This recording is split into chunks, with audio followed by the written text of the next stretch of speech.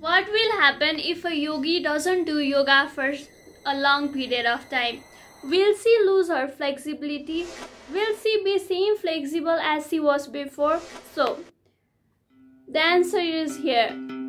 I didn't did yoga for 6 months straight. Let's see how inflexible I have become in this 6 month period.